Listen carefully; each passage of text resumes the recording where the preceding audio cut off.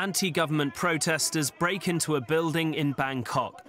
They believe a man who threw an explosive device at demonstrators is hiding inside. The bombing, which took place on Friday morning, injured at least 28 people. The protesters are in the middle of a month-long shutdown of the Thai capital. It's their bid to topple the current regime, led by Prime Minister Yingluck Shinawatra. Protest leader Suthep Thaugsuban led another march through Bangkok on Friday. Him and his supporters are marching every day from camps they've set up at seven locations, although the amount of people involved is slowly decreasing.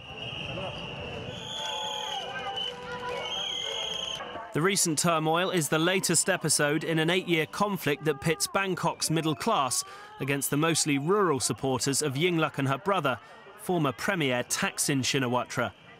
Suthep and his supporters want to eradicate the political influence of Thaksin's family.